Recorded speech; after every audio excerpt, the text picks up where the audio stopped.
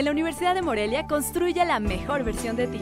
Estudia tu carrera en tres años en las áreas de la salud, humanidades, económico-administrativas, videojuegos y arte digital.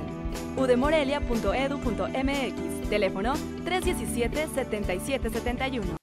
El Congreso de Michoacán tiene tres días para resolver la nueva licencia por 180 días que presentó Fausto Vallejo Figueroa este jueves al Poder Legislativo. Si el Congreso aprueba la solicitud antes del último minuto del próximo domingo, procederá a nombrar gobernador interino. Si lo rechaza, se deberá designar encargado del despacho del Ejecutivo. Esta, este dictamen logra salir antes del domingo, pues entonces habría gobernador en cualquiera de las modalidades.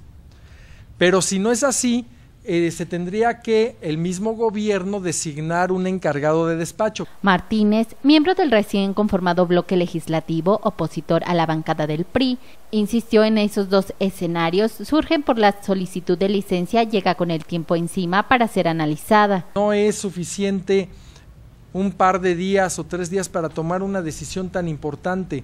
En cualquier de los dos casos, Fausto Vallejo conservaría, en su caso, su condición de gobernador constitucional con licencia. No es facultad del Congreso eh, quitar o pedir que no siga gobernando alguien que el pueblo eligió. El pueblo está por encima de todas las de todo eh, lo que está pues, las decisiones que pueda tomar este Congreso. El legislador panista dijo que la negativa de presentar un parte médico sobre la salud de Fausto Vallejo complica la toma de decisiones. Que es importante conocer no la intimidad de la salud del licenciado Fausto Vallejo. Es importante conocer si el gobernador constitucional de Michoacán puede regresar a gobernar y en cuánto tiempo. Fidel Calderón, presidente de la mesa directiva del Congreso, declinó decir el procedimiento a seguir si se niega otro permiso a Fausto Vallejo o si el análisis de los diputados va más allá del domingo próximo. Yo no puedo adelantar escenarios, el documento se va a ir a las comisiones, en las comisiones se proyectará un dictamen y ese dictamen se votará en el Pleno y cada diputada o diputado tendrá la libertad de votar en el sentido que considere conveniente.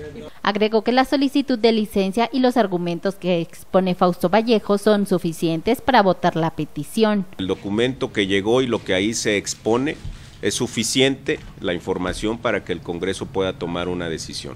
Según la ley, el encargado del despacho sería el secretario de gobierno en funciones, en este caso Jesús Reina, pero por ser gobernador interino, la dependencia tiene un encargado, lo que constituye un problema de interpretación jurídica. Ahora tenemos que tomar una decisión en estos días. Ambos diputados no precisaron los términos del análisis para designar eventualmente encargado del despacho del Ejecutivo. Dijeron que primero se resolverá la solicitud de licencia, además de que este nombramiento corresponde al Ejecutivo.